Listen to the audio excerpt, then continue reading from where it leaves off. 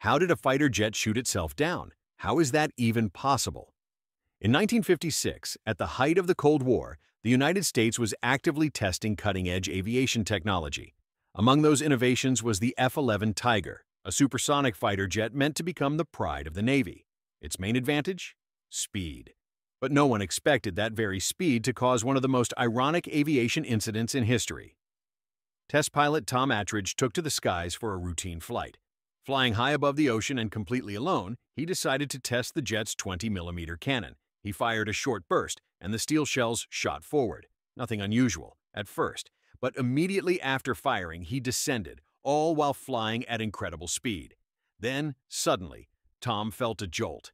Something hit the aircraft. Engine power dropped. The plane shook. Smoke began to rise. Warning systems showed damage. At first, Tom thought he was under attack, but the sky was clear. No enemy in sight.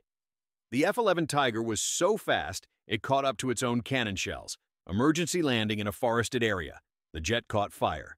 But the pilot survived. Alive, though without his aircraft, and with a new reputation. The man who did the impossible. Yes, Tom Attridge became the first, and probably only pilot in history to shoot himself down. And the F-11 Tiger went down in history not just as a supersonic fighter jet, but as the aircraft that outran its own bullets and common sense.